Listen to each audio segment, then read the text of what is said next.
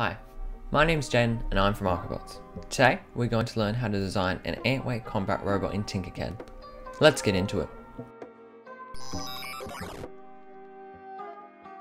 After creating an account and logging in, you should see this screen. From here, we're going to click on Create New Design. Before we start, we are going to change the name of the file. The original name is randomly generated. We are going to change it to ARKObots Robot V1.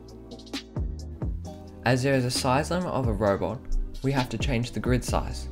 Firstly, we check that it is in millimeters, then we change the width and length to 125 millimeters.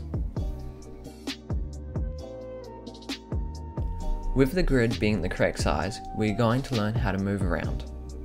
Firstly, to move from the same point of view going left to right, we hold down the scroll wheel. Next, to zoom inwards, we scroll upwards, and to zoom outwards, we scroll downwards.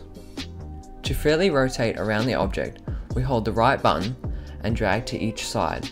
To move without a mouse, we can left click on the cube on certain points to bring us to certain views. And we can hold the left click to move freely. To zoom in and out, we can use these buttons.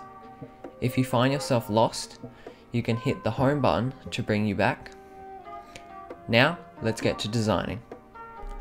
Our first shape is a wedge, which we left click and drag into the work plane. After turning it 180 degrees, we give it the measurements of 90mm long, 30mm wide, and 30mm tall. It is important to take your time so that you make sure all your dimensions are correct. We bring another wedge in and change it to a hole we rotate 180 degrees and give it the size of 86 by 28 and by 28 millimeters. Then we raise it 2 millimeters off the ground and place it into the solid wedge we just created with it allowing 2 millimeters on each side and sticking out 2 millimeters from the back.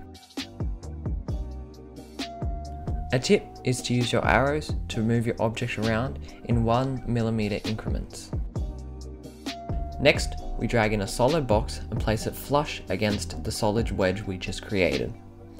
Then we give it the size of 90mm by 35mm by 30mm. Next, we drag in a hollowed box and give it the size of 86 by 31 by 28. Then we raise it 2mm off the ground and place it into the solid box we just created. Next, we drag in a solid box and place it against the solid box we just created. Then we give it the size of 90 by 12 by 10 millimeters. Next, we drag in a solid wedge and rotate it 90 degrees. Then we place it flush against the last solid box we just created. And we give it the size of 90 by 30 by 12 millimeters.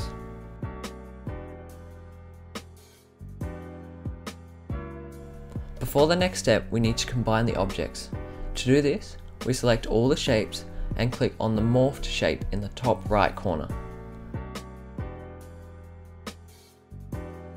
Now we have a hollowed space for all of our electronics to fit. With our solid object, we need to add a gap for wires to slip through from the motors. To do this, we need a hollowed box with a size of 10 by 2 by 20 millimeters. We drag it 10 millimeters off the ground and place it near the center of the wall. With this done, we can now group the objects once again. Now there is space for your motor wires. Our final steps is to add the top plate mounting holes with a solid cylinder with the size of 6mm in diameter and 30mm tall. Make sure the exterior of the cylinder lines up like so. We can copy, paste and drag this to the other side in the same position. Once again, it is important to make sure all your shapes are in the right position. Now we need a pilot hole for the screw using a hollowed cylinder with the sides of 2mm in diameter and 30mm tall. We place this in the center of the solid cylinder.